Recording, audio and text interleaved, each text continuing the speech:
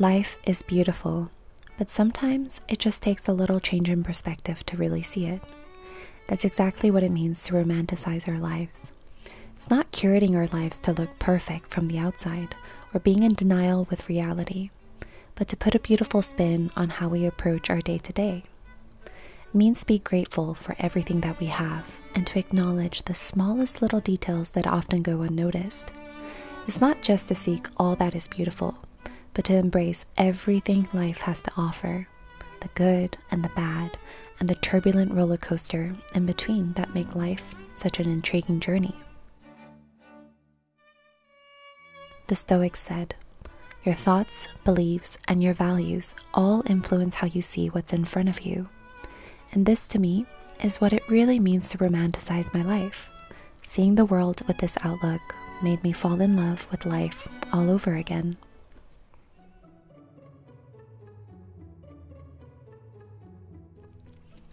Oscar Wilde once said, To live is the rarest thing in the world. Most people exist. That is all. When I read this, I had to examine my own life and ask myself if I was just existing or living. Existing means to go through life without being conscious of who we are, surviving the day to day. But living is actively participating, being fully aware and being present for the experience. I'm learning slowly that living takes a lot more effort. Sometimes it requires us to get our hands dirty to really go for the things that we want. It requires us to give love and attention to every aspect of our lives. It's learning what we need and want out of life and savoring every little joyful moment along the way. It is up to us to define how we want to live our lives, and it might take a lifetime to figure it out. But at least this way, we can fully immerse ourselves into our own stories and know what it means to have a purpose rather than to simply exist.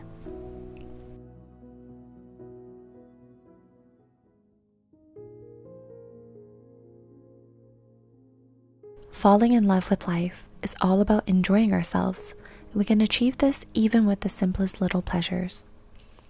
I love waking up to see the little roots on my propagated plants, seeing the birds play outside of my window, treating myself to my favorite fruits and my morning yogurt. To you, this might not seem like a big deal, but this is a part of my routine I look forward to every single day, and in a way, it gives me a reason to wake up in the mornings.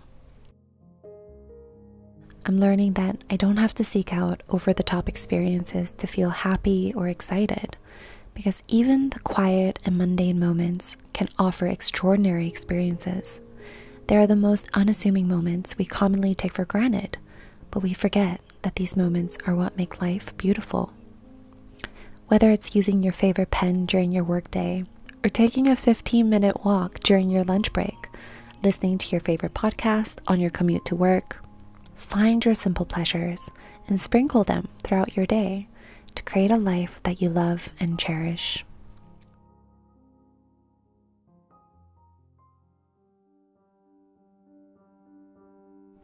Some things are unenjoyable no matter how hard we try, but we still need to get it done.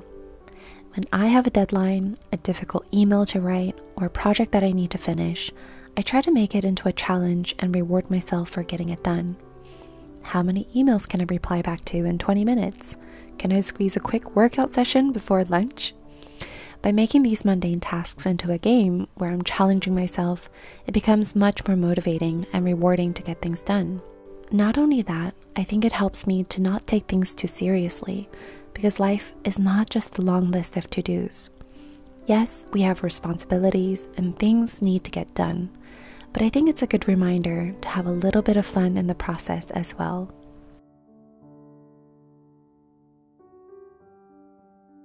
When you are the main character of your own life, you are not the victim, you are the hero. You prioritize yourself above everything else because you know your self worth.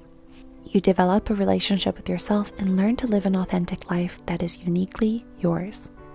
Of course, this is not an excuse to be self centered or treat others as insignificant, but the point is to gain a new outlook on life from a first person perspective.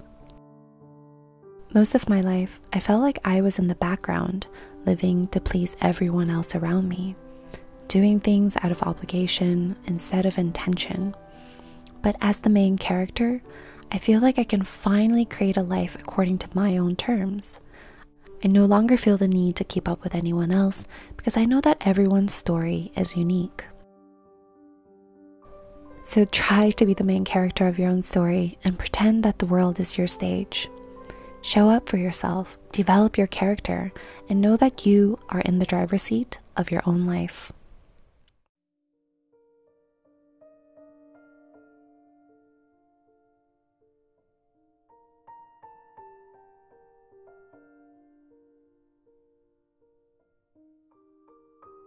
We all know that the past holds a lot of wisdom.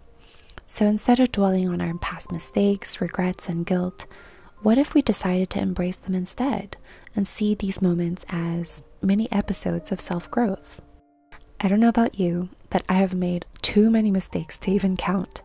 But now I'm so proud to look back and see that I even had the courage to try new things, go out of my comfort zone, to challenge myself. Like with anything, it's difficult to see in the moment, but I now know that without these experiences, there would be no depth to my life, and I definitely wouldn't be the person that I am today. Sometimes I'm so reluctant to say what I want, do what I want, because I'm so afraid of making a fool out of myself. But now I try to remember that the bigger the mistake, the bigger the lesson, and this has given me the courage to say yes to things I usually say no to.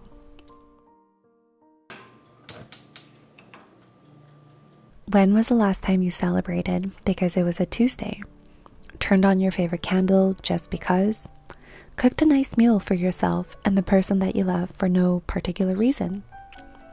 Instead of holding off until the weekend or a special occasion to do something special, I think it's important to make every single day count. With this mindset, we create more opportunities to do the things that make us happy. So don't hold off on saying I love you to the people that you love. Don't hold yourself back from going after what you want. Don't wait for the right moment to launch your art. Know that the only moment that matters is the present moment, so make it count. I'm not saying that we should expect life to be a fairy tale, and there are things we definitely shouldn't romanticize. But I do think it's important to remember that we have the power to make an incredibly interesting story with the plot that's been handed to us. Because perception is what shapes reality, so why not make it a beautiful one?